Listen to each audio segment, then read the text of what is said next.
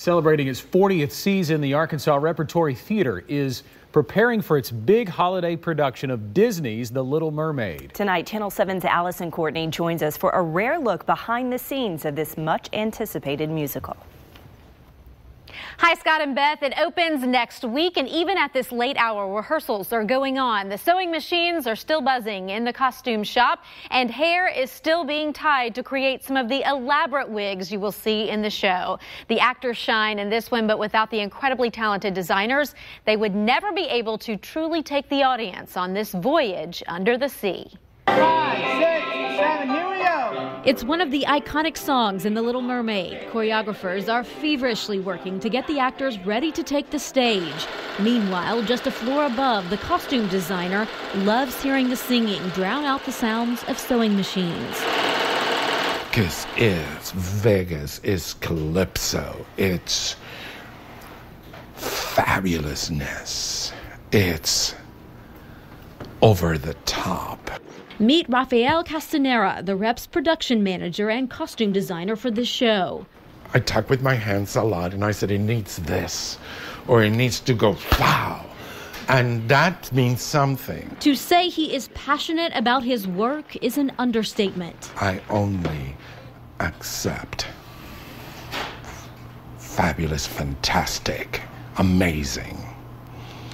That is succeeding. Born in Puerto Rico, Castanera put on his first production at the age of 17. So I wrote it, I directed it, and I designed the costumes. My mother made it, and my father was an accountant, and he went to his clients and um, sold them ads for our playbill, and that's how we rented the theater. Castanera would go on to work in New York City before Bob Hupp, the Rep's producing artistic director, hired him 15 seasons ago. Raphael really is multi-talented, but his, his skill as a costume designer really comes to the fore. Can you make it really tight? Oh, yeah. Castanera has designed costumes for dozens um, of shows, but says The Little Mermaid is the most elaborate. The detail, hopefully, that you will see on stage has taken thousands of men hours. The shoes are hand painted to match the tie dye and the pattern that is on the tights that the dancers wear. Everything is that way. It starts with his sketches on paper and lengthy actor fittings. Race it, race it. Then cutters, drapers, and tailors, the folks Castanera calls the real heroes of a production, takeover to create his original designs. That's what's going to make it magic. And maybe the most magical, Ursula's octopus costume. It takes at least two people to get me into the thing. Amy Jo Jackson plays the villain. And it's just like the height and the the width of the costume and the way that it moves, like the hips just I give the littlest swivel and it's like gagung, gagung, gagung. And topping it off is this custom fitted, hand tied massive wig created by a North Little Rock native considered one of the best in the country and he's only 19 years old. He's how old? And I went, What? This is my website. And he showed and he sent me links of his website.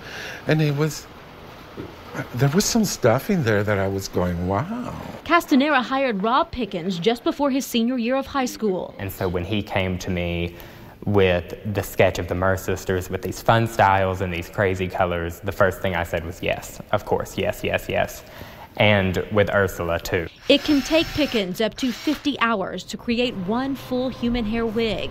It's a very um, monotonous and tedious process, but I enjoy it. And he's been doing it since he first became intrigued with Broadway theater as a kid. I found some books online. My mother, luckily enough, wasn't freaked out and bought me some wig lace, um, a little needle that we call a ventilating hook. It's similar to latch hooking in a way, and some bobbinet tulle, and I started tying hair at eight years old. Pickens now creates wigs for productions all over the country, some going for thousands of dollars. But here at the Rep, budgets aren't big, so Rob uses synthetic hair for some of the wigs and purchases others that have pre made backs. In fact, everyone is used to stretching their resources.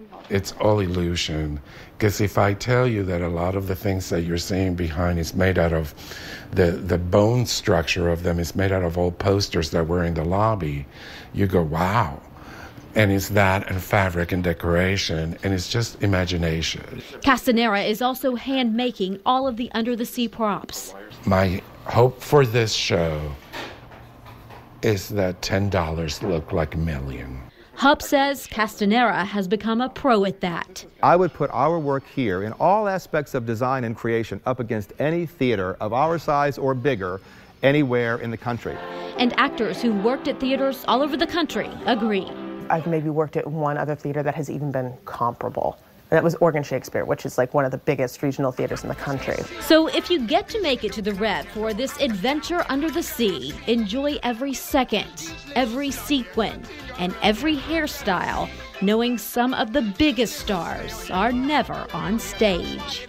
We will be working until the 11th hour so that every detail is right. And then I'll go sleep and say, I wish I would have done it. So, how much does it cost to create hundreds of costume pieces, over 50 wigs, create a set, lighting, music, hire the actors and staff for a five week run? Well, Bob Hupp tells us an average budget for a show like The Little Mermaid is $350,000. They hope to gross $500,000 in ticket sales, and it looks like they are well on the way to that goal as tickets are selling in record numbers. To find out how to get tickets and what happens to all those costumes after the show, go to our website, KATV Disney.com. Alyson Courtney, Channel 7 News. Yeah, you can't go wrong with going with Disney. I've been to the rep many times and never yeah. even thought about the detail that goes into that. And you said, I- am going to Oh, there's no this. question I'm yeah. going now. You know yeah. what? Also, we see the actors on stage, but there's so much personality backstage, too. yes, it's really was. fun to see that. Yes.